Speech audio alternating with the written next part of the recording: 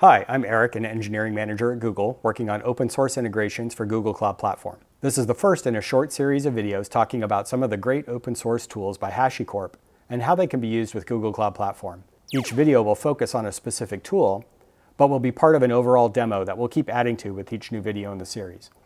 And over Hangouts, I have with me today Artem Yakimenko, a Googler based in Sydney, and Chris Roberts, an engineer at HashiCorp based in Portland, Oregon. Thanks for joining me today, fellas. Here's the background story for this series. Each video will have a different set of guest speakers, but let's imagine they're part of a small game studio and are working on their next project, a 1980s retro-style space game, but updated to play on the web with multiplayer support. It's been designed to have a separate JavaScript front end and back end server written in the Go programming language. Through the next few videos, we'll follow the project along from the development phase up through a demo to the CEO and then finally the big launch. But for today's video, we're still in the development phase of the project with a couple of developers actively working on writing the code. So where do the HashiCorp tools fit into this? Today we'll start with Vagrant. Chris, can you tell us a little bit about Vagrant and what problems it solves? Sure. Vagrant is a tool primarily used by software developers. It provides an easy and repeatable way to create custom development environments. Vagrant has been around for a long time and brings together the well-known worlds of VMs and operating systems, along with some of the same patterns you may have heard about with Docker, but without having to adopt a new container-centric world. Thanks, Chris. I think we've all heard stories or experienced this ourselves of working at places where developers create their environments by copying and pasting a bunch of shell commands from some internal wiki page. Vagrant essentially replaces those setup instructions with a single configuration file that can be put under version control and treated just like your code. Correct me if I'm wrong, but a common use case is for developers to use Vagrant to spin up local VMs if they have VirtualBox or VMware installed.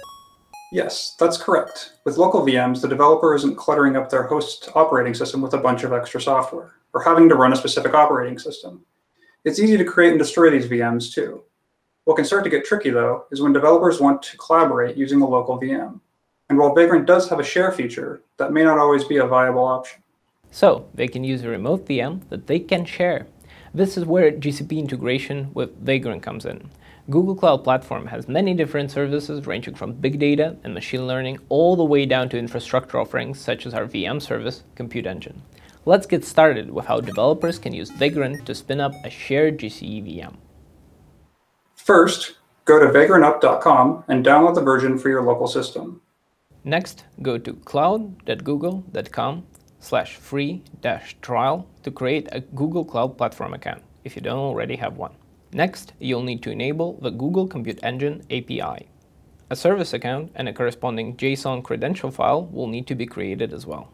Now we'll spin up a Google Compute Engine instance with my Hyperspace video game and development environment ready to go.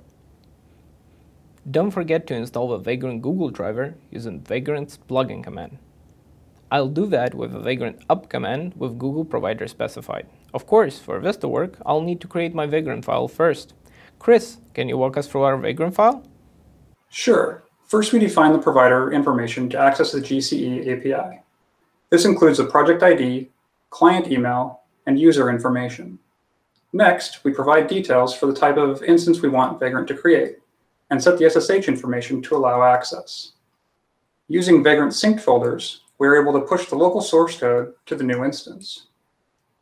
And finally, a provisioning script is used to create the new instance, here, a simple shell provisioner runs an inline script on the remote instance. Vagrant also supports other provisioners, like Chef and Puppet, for more complex instance configuration. Now let's see how the GCE instance is coming along. Okay, now that the Vagrant up has finished, you can see in the console that I have a new GCE VM running. When I click on its public IP address, you can see that the game is up and working.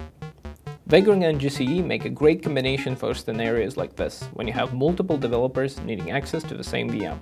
GCE will store users' SSH keys in metadata, and those keys are propagated to the VM to allow remote access.